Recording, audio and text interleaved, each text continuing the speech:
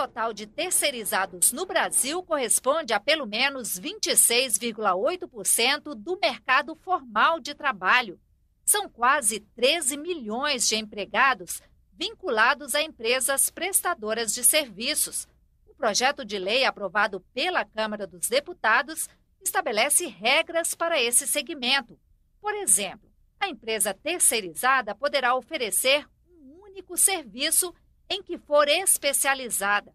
A empresa contratante terá a obrigação de fiscalizar o pagamento dos direitos trabalhistas dos funcionários e de recolher ao governo encargos e tributos, como INSS e PIS. Centrais sindicais têm feito manifestações contra a proposta em todo o país.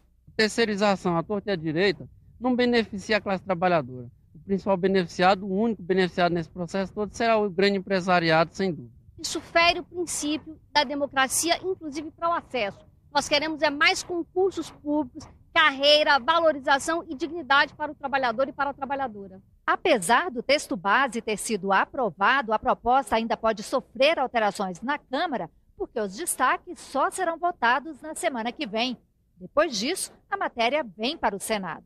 A empresa fizer a contratação da terceirizada, ela será responsável pelo pagamento de todos os impostos.